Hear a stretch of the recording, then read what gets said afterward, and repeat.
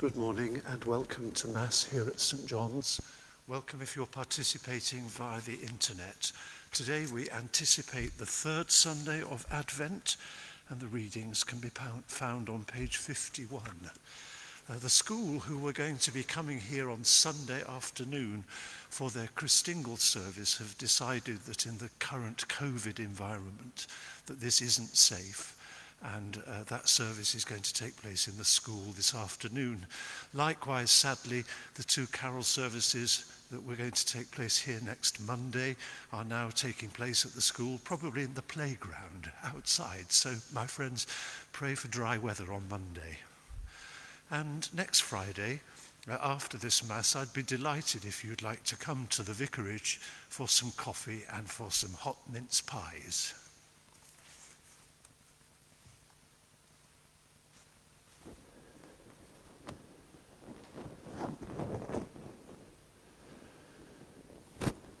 Our Father which art in heaven, hallowed be thy name. Thy kingdom come, thy will be done, in earth as it is in heaven. Give us this day our daily bread, and forgive us our trespasses, as we forgive them that trespass against us. And lead us not into temptation, but deliver us from evil. Amen. Almighty God, unto whom all hearts be open, all desires known, and from whom no secrets are hid, cleanse the thoughts of our hearts by the inspiration of thy Holy Spirit, that we may perfectly love thee and worthily magnify thy holy name, through Christ our Lord. Amen. Our Lord Jesus Christ said, Hear, O Israel, the Lord our God is one Lord, and thou shalt love the Lord thy God with all thy heart and with all thy soul, and with all thy mind, and with all thy strength. This is the first commandment. And the second is like, namely, this Thou shalt love thy neighbor as thyself. There is none other commandment greater than these. On these two commandments hang all the law and the prophets. Lord, have mercy upon us, and write all these thy laws in our hearts we beseech thee. The Lord be with you. Let us pray. O Lord Jesus Christ, who at thy first coming did send thy messenger to prepare the way before thee, grant that the ministers and stewards of thy mysteries may likewise so prepare and make ready thy way by turning the hearts of the disobedient to the wisdom of the just, that at thy second coming to judge the world, we may be found an acceptable people in thy sight, who livest and reignest with the Father and the Holy Ghost, one God, now and forever. Amen.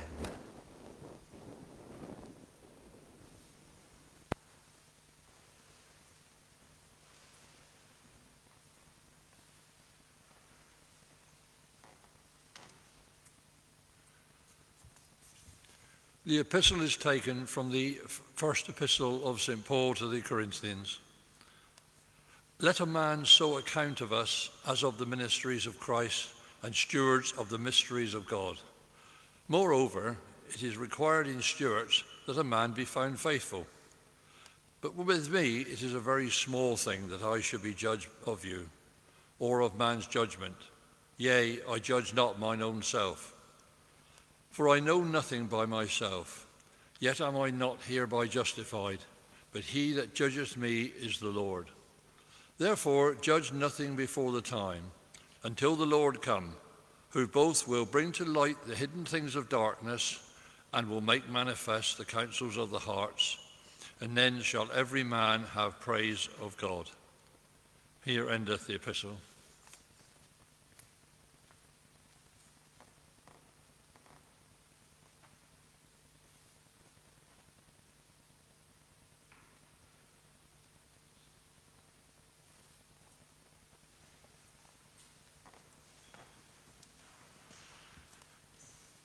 The Holy Gospel is written in that, according to St. Matthew, the 11th chapter, beginning at the second verse.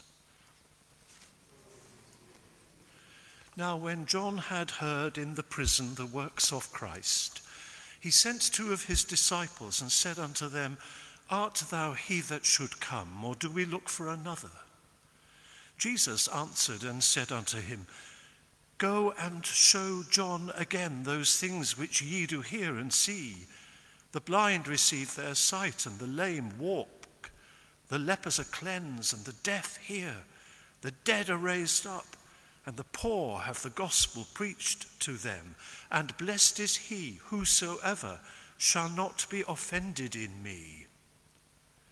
And as they departed, Jesus began to say unto the multitude concerning John, what went ye out into the wilderness to see? A reed shaken with the wind? But what went ye out for to see? A man clothed in soft raiment? Behold, they that wear soft clothing are in kings' houses. But what went ye out to see? A prophet? Yea, I say unto you, and more than a prophet. For this is he of whom it is written, Behold, I send my messenger before thy face, which shall prepare thy way before thee. Praise be to thee, O Christ.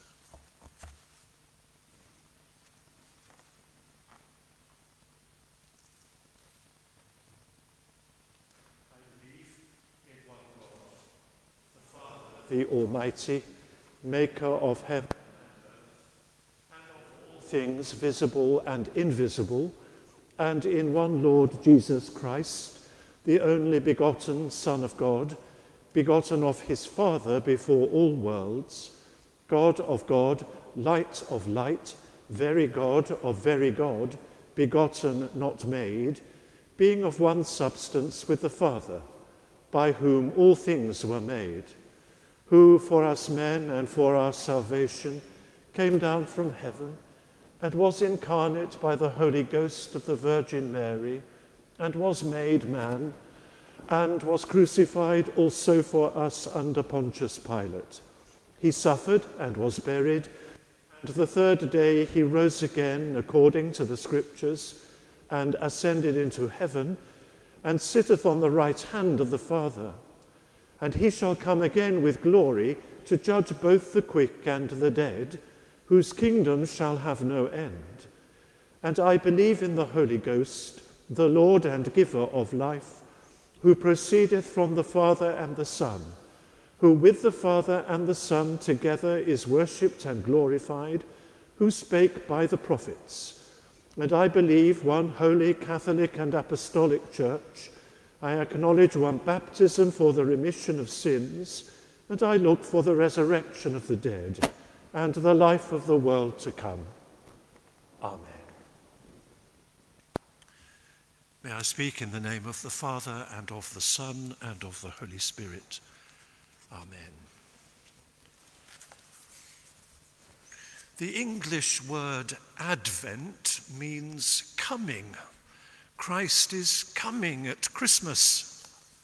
That's true.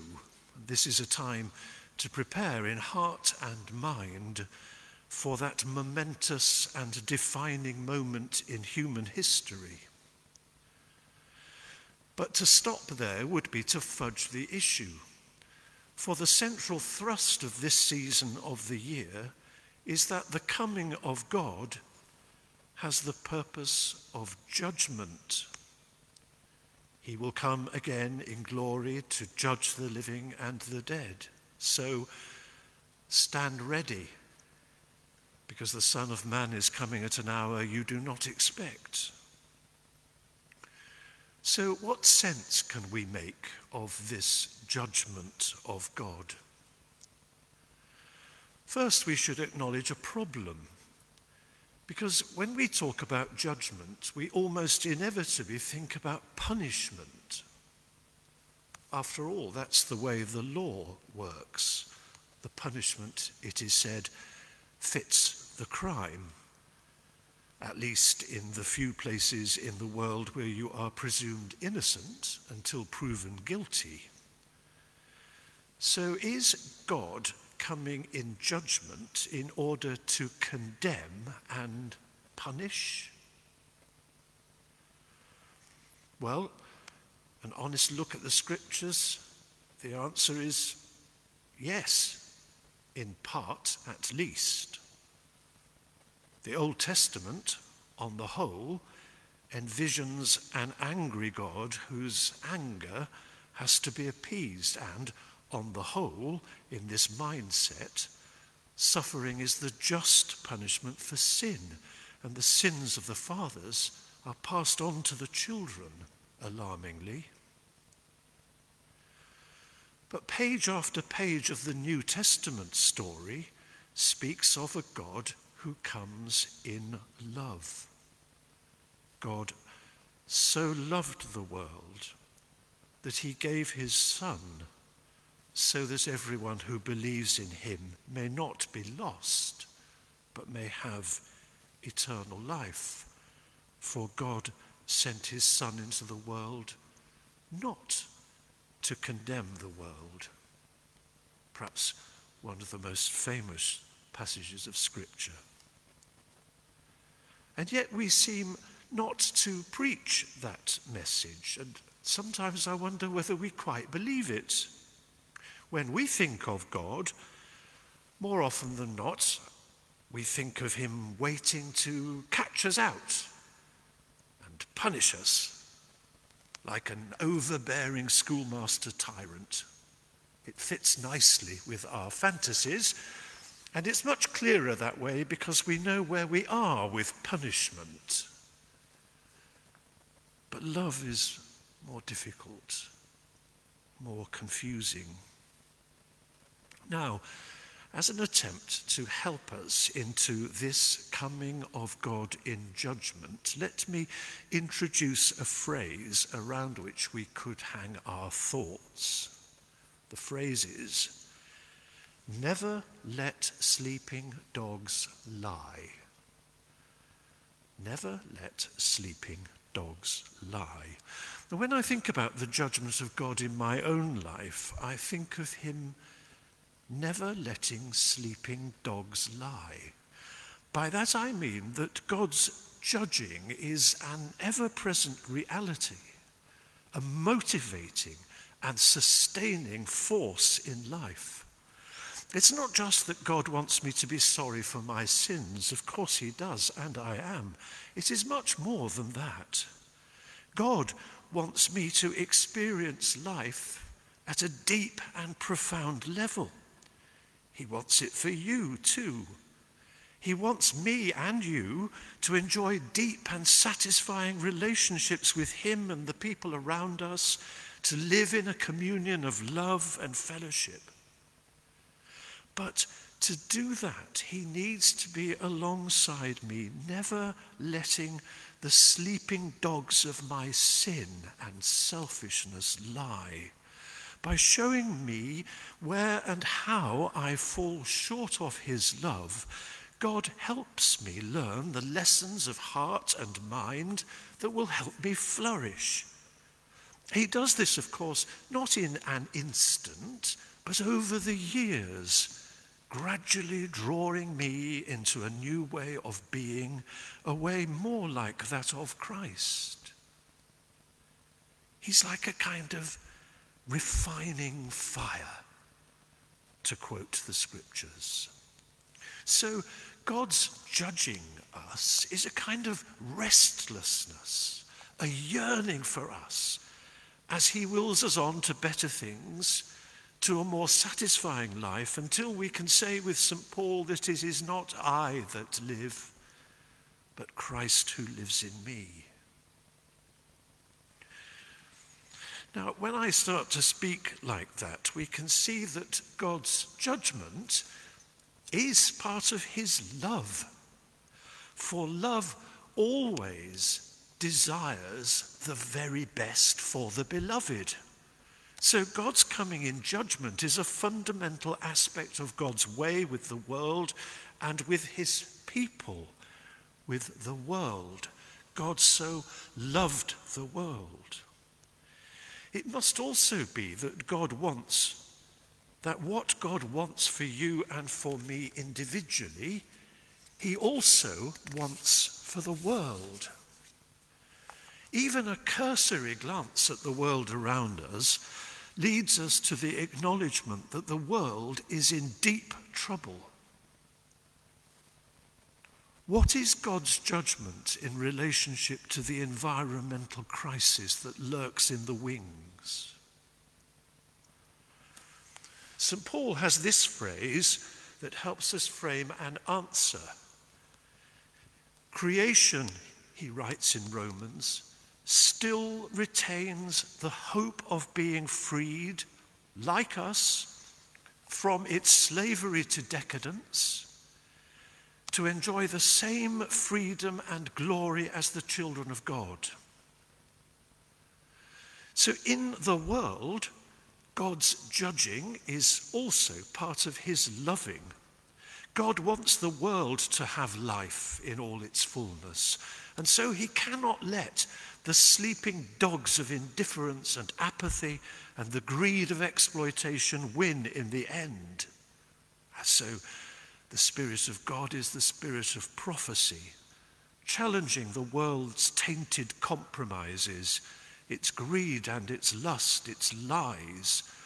And the Spirit of God is a vigorous and enabling force, working for a world which is more just and equitable, a world where all people will have peace and the resources they need to live a life which is deeply satisfying until all people enjoy the same freedom and glory as the children of God.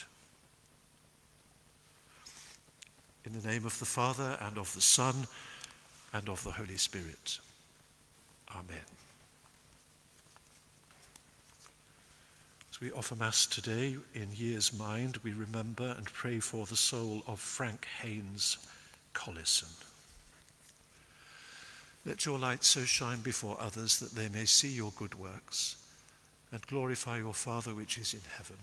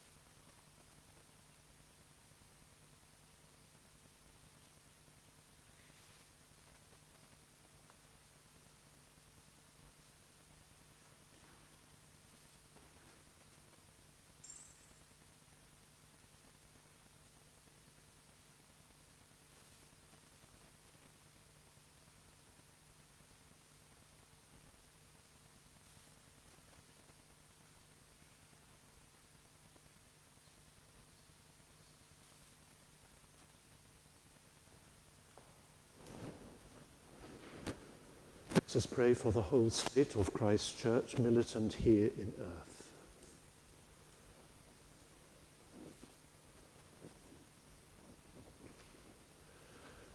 Almighty and ever living God, who by thy holy apostle hast taught us to make prayers and supplications and to give thanks for all men, we humbly beseech thee most mercifully to accept, receive these our prayers which we offer unto thy divine majesty beseeching thee to inspire continually the universal church with the spirit of truth, unity, and concord.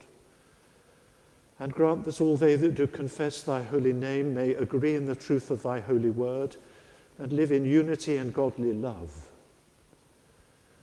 We beseech thee also to save and defend all Christian kings, princes, and governors, and especially thy servant Elizabeth, our Queen, that under her we may be godly and quietly governed and grant unto her whole council and to all that are put in authority under her, that they may truly and impartially minister justice to the punishment of wickedness and vice and to the maintenance of thy true religion and virtue.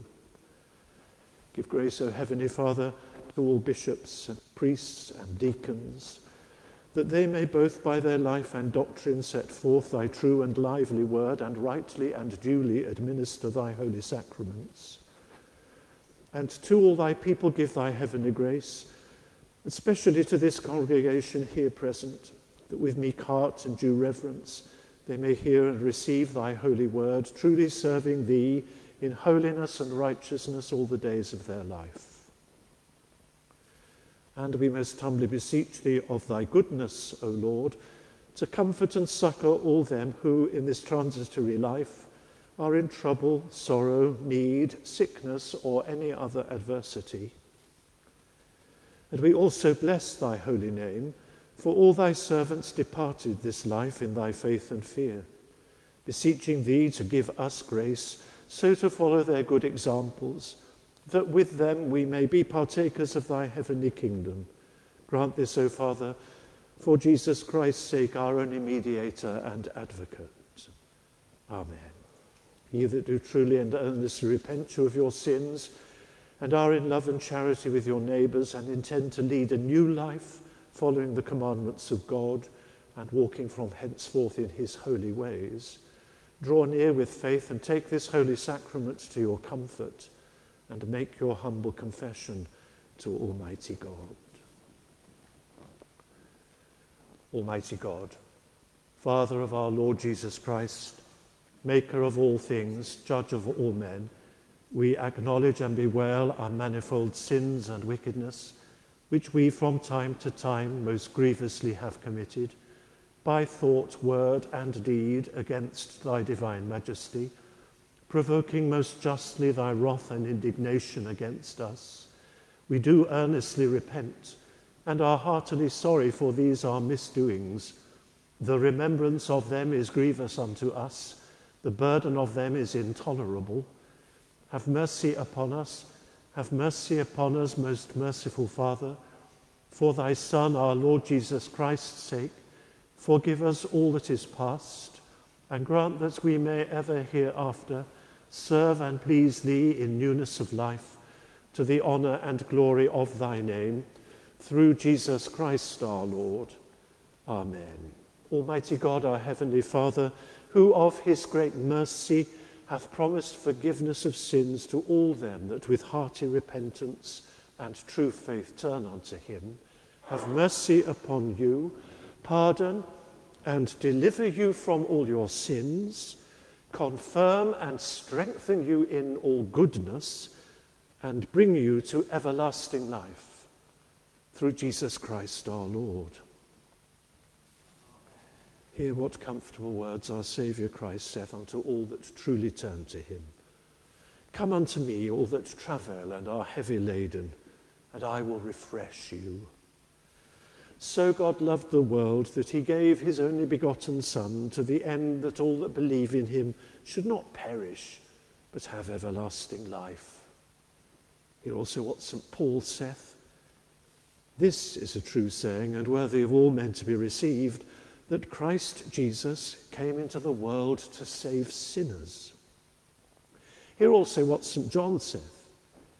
If any man sin, we have an advocate with the Father, Jesus Christ the righteous, and he is the propitiation for our sins. The Lord be with you. Lift up your hearts. Let us give thanks unto our Lord God. It is very meet, right, and our bounden duty that we should at all times and in all places give thanks unto thee O Lord, Holy Father, Almighty and everlasting God. And now we give thee thanks because thou didst send Christ Jesus to redeem us from sin and death and to make us inheritors of everlasting life, that when he shall come again in power and great triumph to judge the world, we may with joy behold his appearing and in confidence may stand before him. Therefore, with angels and archangels and with all the company heaven, we laud and magnify glory, evermore praising thee and saying, Holy, holy, holy, Lord God of hosts, heaven and earth are full of thy glory.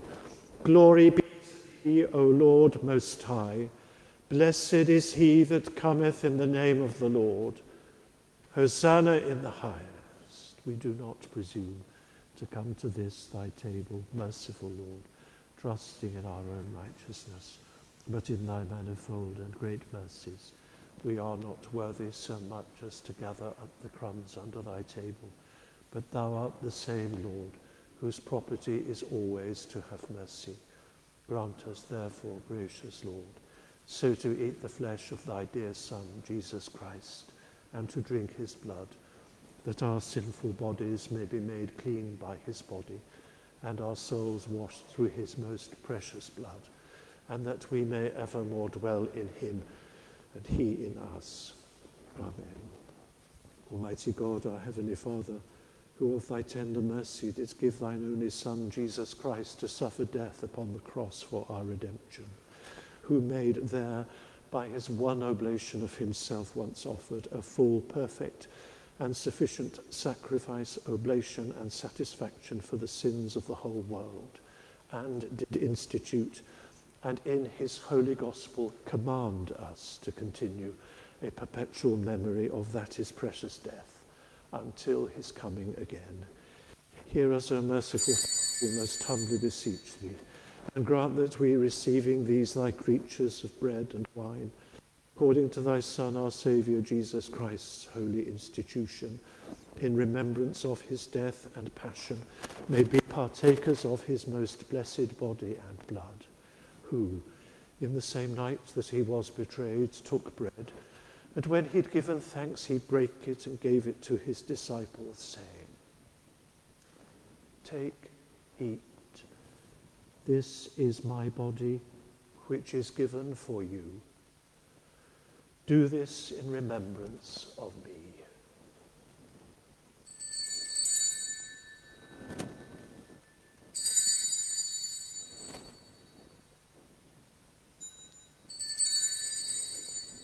Likewise, after supper, he took the cup, and when he had given thanks, he gave it to them, saying, Drink ye all of this. For this is my blood of the New Testament, which is shed for you and for many for the remission of sins. Do this as oft as ye shall drink it in remembrance of me.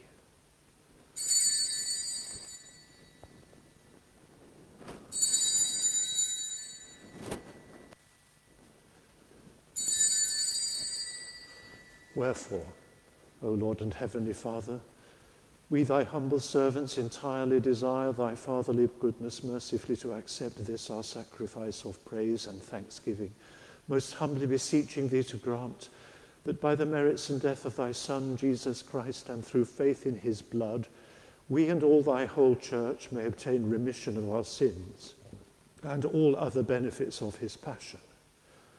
And here we offer and present unto thee, O Lord, ourselves, our souls and bodies to be a reasonable, holy, and lively sacrifice unto thee, humbly beseeching thee that all we who are partakers of this holy communion may be fulfilled with thy grace and heavenly benediction. And although we be unworthy, through our manifold sins, to offer unto thee any sacrifice, yet we beseech thee to accept this our bounden duty and service, not weighing our merits, but pardoning our offences through Jesus Christ our Lord, by whom and with whom, in the unity of the Holy Ghost, all honour and glory be unto thee, O Father Almighty, world without end. Amen.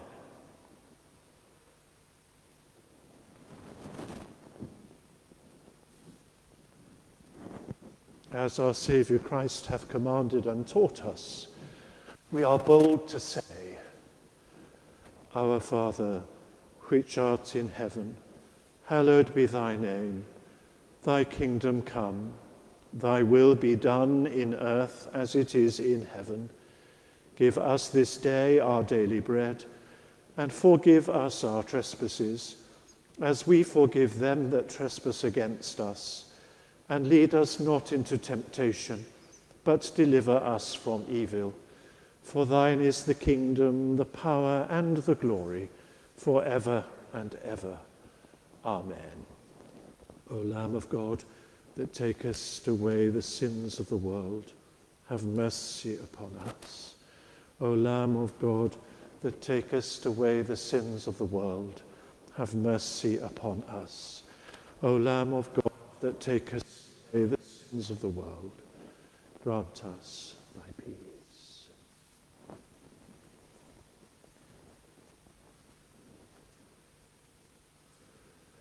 Behold the Lamb of God Behold him that takes away the sin of the world. Blessed are those called to the supper of the Lamb. Lord, I am not worthy to receive you, but only say the word, and I shall be healed. Corpus Christi, me custodiat in vitam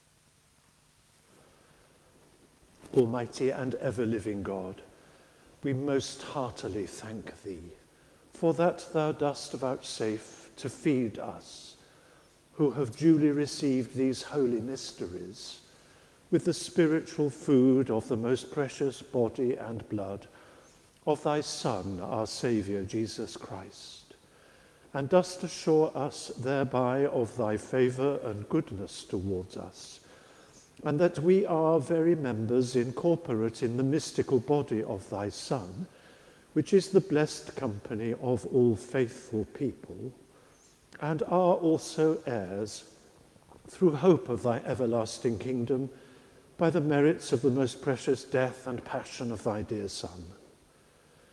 And we most humbly beseech thee, O Heavenly Father, so to assist us with thy grace that we may continue in that holy fellowship and do all such good works as thou hast prepared for us to walk in through Jesus Christ our Lord, to whom with thee and the Holy Ghost be all honour and glory, world without end. Amen. The peace of God, which passeth all understanding, keep your hearts and minds in the knowledge and love of God and of his Son, Jesus Christ our Lord, and the blessing of God Almighty, the Father, the Son, and the Holy Ghost be amongst you and remain with you always. Amen.